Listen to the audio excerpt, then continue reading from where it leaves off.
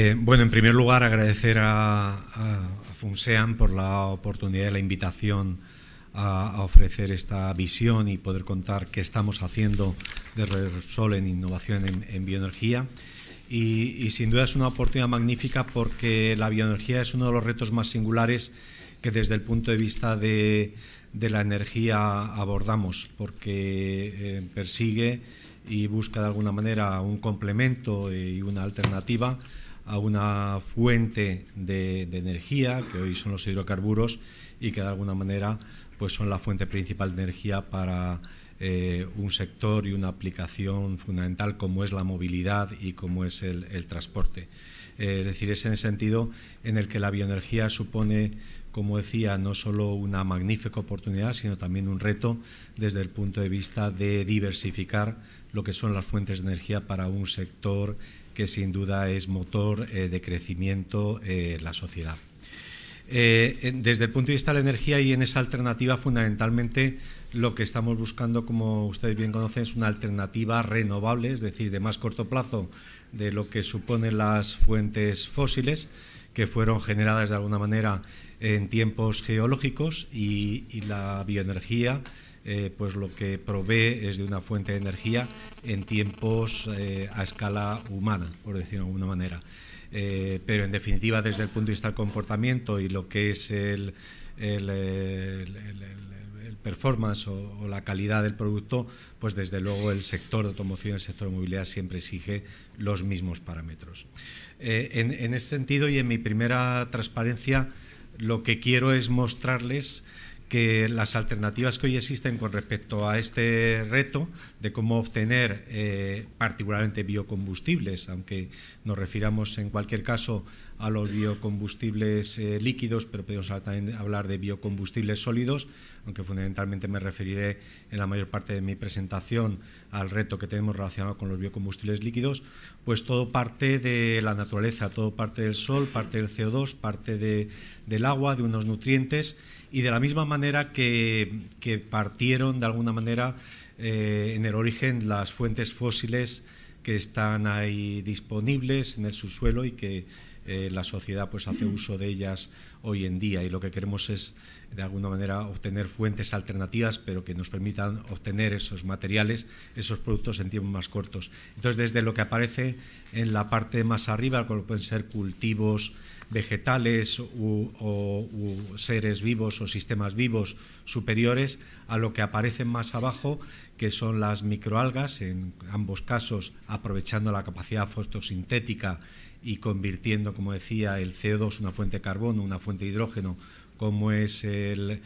agua, en eh, cadenas hidrocarbonadas y que de alguna manera por extracción primaria eh, son transformables en esos productos que llamamos combustibles, en este caso biocombustibles, y en otros casos, pues cómo aprovechar de forma secundaria residuos o restos de esos cultivos, eh, de esos sistemas vegetales, eh, y a través de procesos biotecnológicos convertirlos en más cantidad de biocombustible. Como ven en la parte de la derecha, sin duda la consideración de sostenibilidad es un aspecto fundamental que no solo podemos hablar en términos de, o no solo debemos de hablar en términos de sostenibilidad medioambiental, sino también hay factores económicos y sociales que son fundamentales a la hora de considerar cualquier alternativa y cualquier solución y particularmente en este ámbito. Es decir, que no existe una sostenibilidad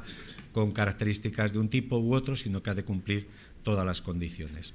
En la siguiente eh, transparencia, y como han visto anteriormente, ineludiblemente en gran parte de los casos tenemos que recurrir al terreno, a la, tierra, al uso de la tierra. Eh, y por otro lado, eh, como ven ahí también, y son estimaciones de la Agencia Internacional de Energía, pues el panorama que hoy tenemos no tiene nada que ver con lo que se prevé que vamos a tener de aquí a largo plazo. El reto, sin duda, es muy importante, eh, es enorme, como decíamos, hoy en día la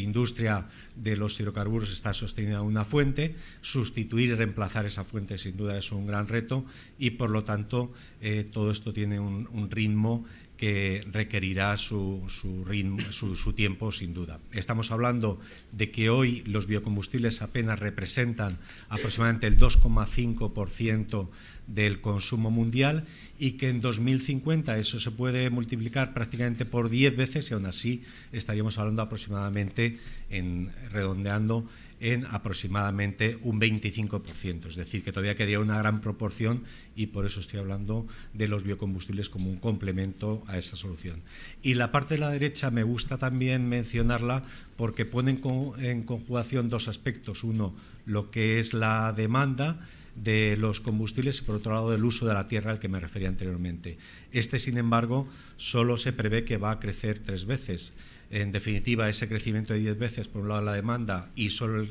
crecimiento de tan solo tres veces en el caso de la tierra significa que tendremos que hacer las cosas de una manera muy eficiente, eh, mucho mejor de lo que estamos haciendo ahora, con mayor aprovechamiento, incluso comentábamos antes, de los residuos. Y es eh, por eso eh, en el que, de alguna manera, el ámbito de los biocombustibles se suma uno de los grandes retos que tiene la sociedad y la humanidad en el futuro, que es el uso eficiente de los recursos que sin duda siempre son limitados.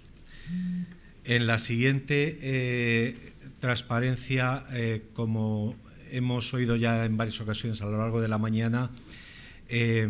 debemos de tener una, una perspectiva abierta a la contribución de todas las alternativas y el análisis del ciclo de vida es el que nos debe de guiar sin duda en la elección de las mejores alternativas. Es decir, antes hablábamos de la sostenibilidad en términos no solo medioambientales, económicos y sociales, pero también desde el punto de vista del análisis del ciclo de vida, efectivamente, en ese balance global que tienen que cumplir las emisiones, la economía, la energía, es decir, no podemos hacer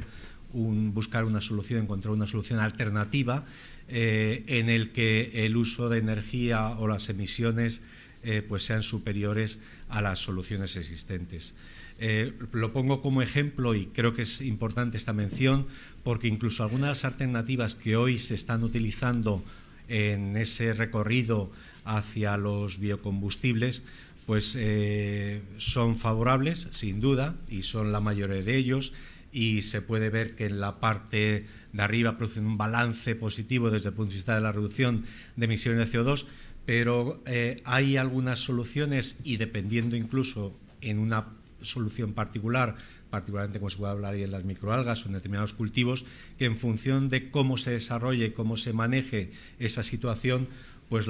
eh, el, objetivo perseguido, sin embargo, produce un efecto contrario. Es decir, en ese sentido, a mí también me gusta hablar más en términos de proyectos o soluciones sostenibles, más de que la solución o, el cultivo en este caso o la tecnología por sí mismo sea sostenible. Es decir, es el manejo de la eh, tecnología, es el manejo del proyecto lo que hace que aquello sea sostenible.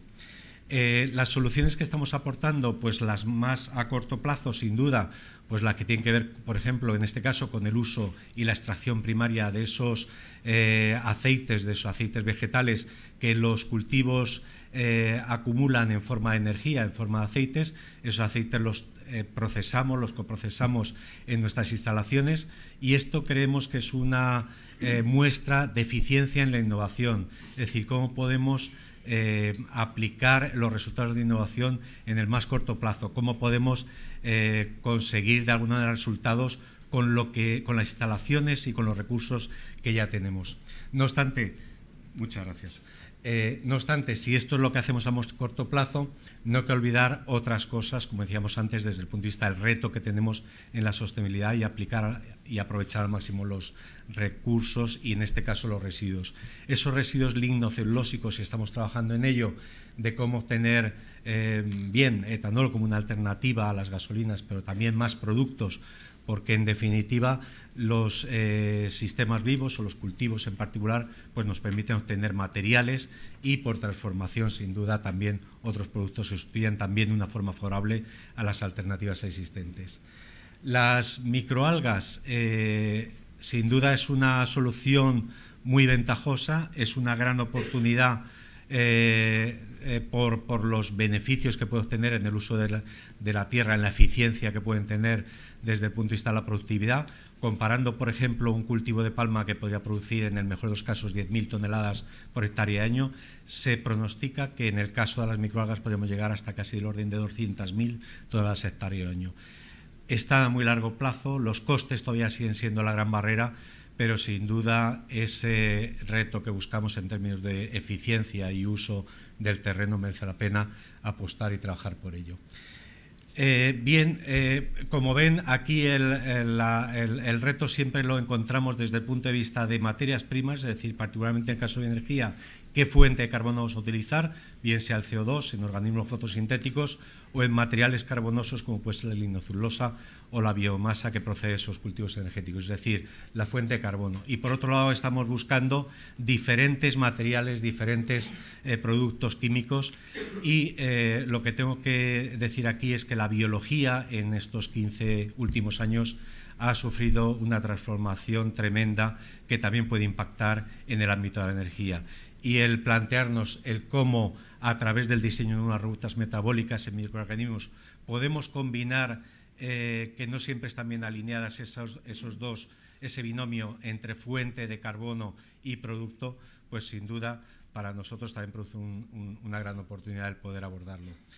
Son tales los retos que estamos abordando desde el punto de vista de, eh, tamaño del, reto, las alternativas que se producen, algunas de ellas que podemos aplicar inmediatamente y otras que tenemos que desarrollar, que no puedo eludir el mencionar que el, papel de las alianzas aquí es fundamental. Y en este proyecto nuestro pues estamos trabajando desde captar las ideas desde el momento más inicial a través de procesos de Technology Venture, desde lo que es la Fundación Repsol a través del patrocinio e impulso a través del programa de Fondo Emprendedores y lo que son las inversiones en startup y pequeñas compañías que están arrancando, algunas de ellas en el ámbito de la bioenergía como Neol Biosolutions o Alga Energy, en la que hemos tomado participación en los últimos años.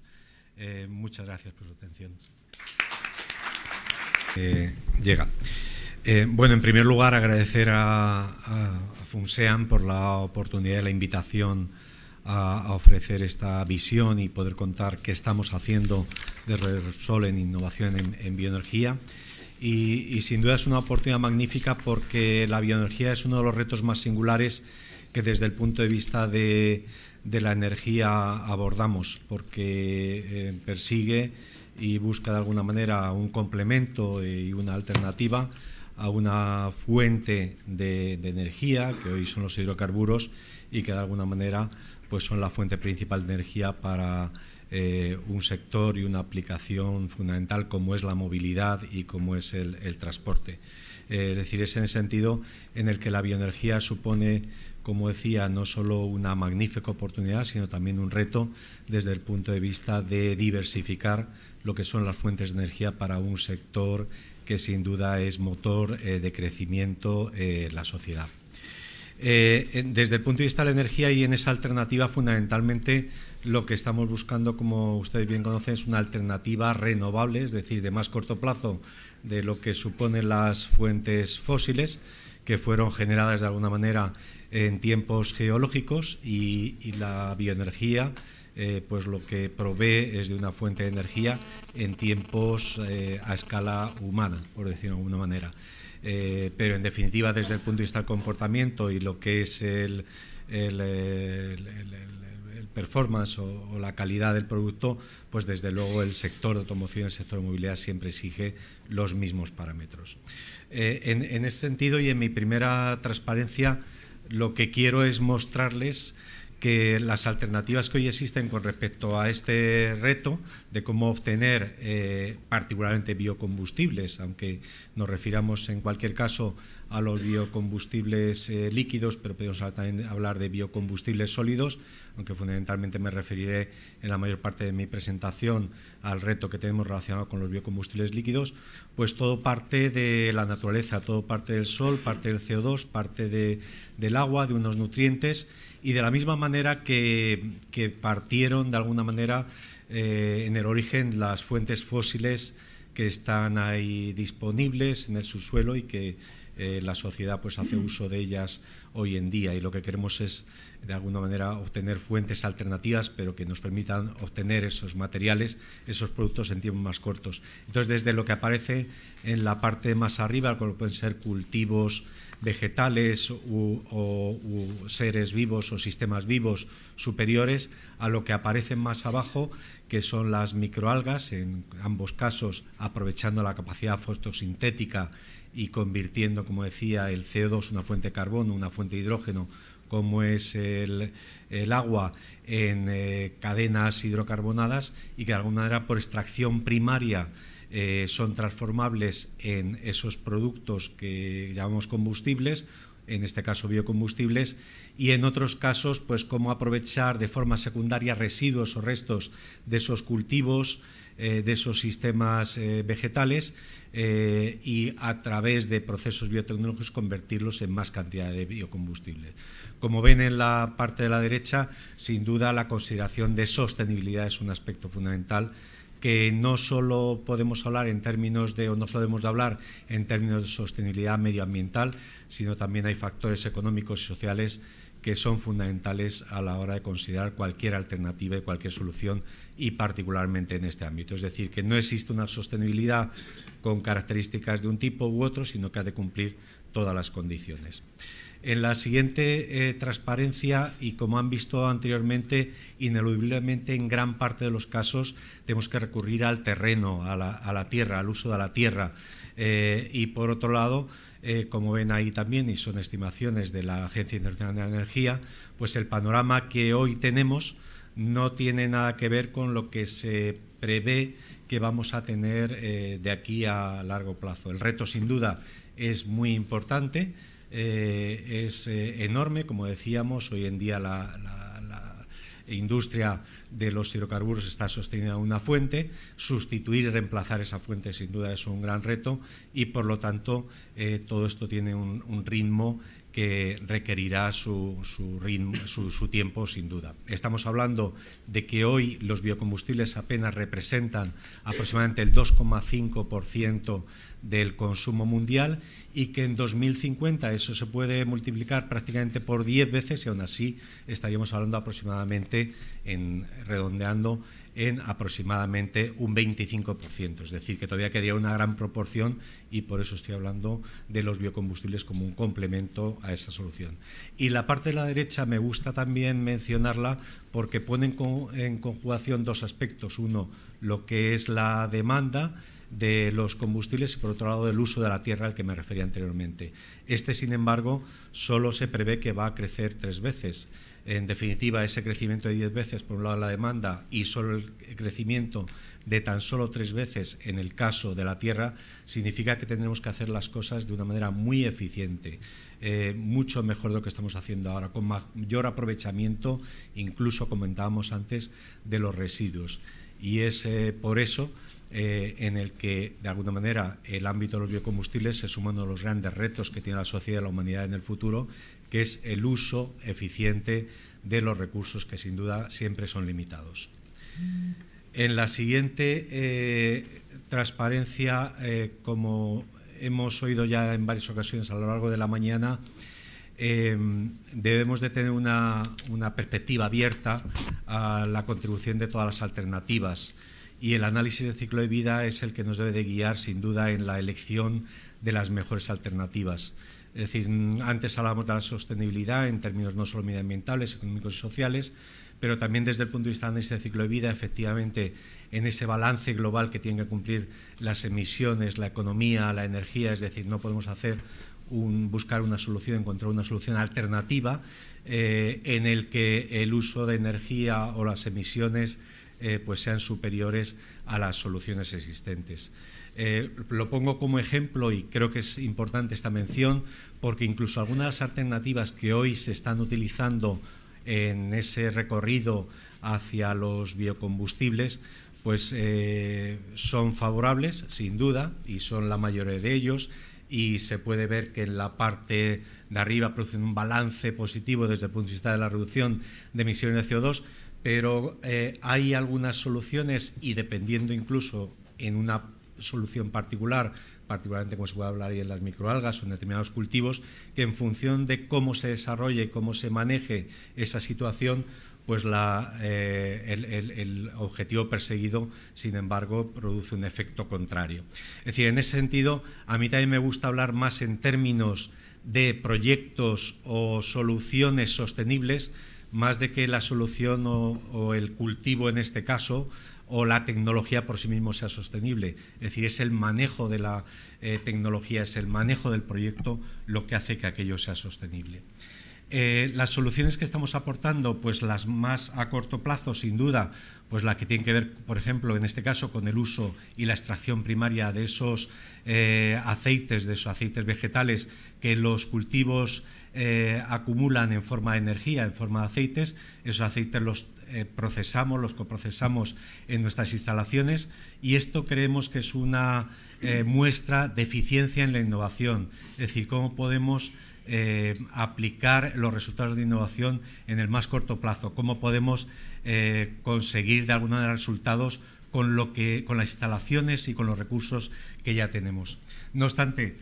muchas gracias. Eh, no obstante, si esto es lo que hacemos a corto plazo, no hay que olvidar otras cosas, como decíamos antes, desde el punto de vista del reto que tenemos en la sostenibilidad y aplicar y aprovechar al máximo los recursos y, en este caso, los residuos. Esos residuos lignocelulósicos, y estamos trabajando en ello, de cómo obtener eh, bien etanol como una alternativa a las gasolinas, pero también más productos porque en definitiva los eh, sistemas vivos o los cultivos en particular pues nos permiten obtener materiales y por transformación sin duda también otros productos que sustituyen también de una forma favorable a las alternativas existentes. Las microalgas eh, sin duda es una solución muy ventajosa, es una gran oportunidad eh, por, los beneficios que puede obtener en el uso de la, tierra, en la eficiencia que pueden tener desde el punto de vista de la productividad, comparando, por ejemplo, un cultivo de palma que podría producir, en el mejor de los casos, 10.000 toneladas por hectárea año, se pronostica que en el caso de las microalgas podríamos llegar hasta casi el orden de 200.000 toneladas hectárea año. Está a muy largo plazo, los costes todavía siguen siendo la gran barrera, pero sin duda ese reto que buscamos en términos de eficiencia y uso del terreno merece la pena apostar y trabajar por ello. Eh, bien, eh, como ven, aquí el, reto siempre lo encontramos desde el punto de vista de materias primas, es decir, particularmente en el caso de energía, qué fuente de carbono vamos a utilizar, bien sea el CO2 en organismos fotosintéticos o en materiales carbonosos como puede ser la lignocelulosa o la biomasa que procede de esos cultivos energéticos, es decir, la fuente de carbono. Y por otro lado estamos buscando diferentes materiales, diferentes eh, productos químicos y eh, lo que tengo que decir aquí es que la biología en estos 15 últimos años ha sufrido una transformación tremenda que también puede impactar en el ámbito de la energía y el plantearnos el cómo a través del diseño de unas rutas metabólicas en microorganismos podemos combinar eh, que no siempre están bien alineadas esos, esos dos, ese binomio entre fuente de carbono y producto, pues sin duda para nosotros también produce una gran oportunidad el poder abordarlo. Son tales los retos que estamos abordando desde el punto de vista de, eh, tamaño del, reto, las alternativas que se producen, algunas de ellas que podemos aplicar inmediatamente y otras que tenemos que desarrollar, que no puedo eludir el mencionar que el, papel de las alianzas aquí es fundamental. Y en este proyecto nuestro pues estamos trabajando desde captar las ideas desde el momento más inicial a través de procesos de Technology Venture, desde lo que es la Fundación Repsol a través del patrocinio e impulso a través del programa de Fondo Emprendedores y lo que son las inversiones en startup y pequeñas compañías que están arrancando, algunas de ellas en el ámbito de la bioenergía como Neol Biosolutions o Alga Energy, en la que hemos tomado participación en los últimos años. Eh, muchas gracias por su atención.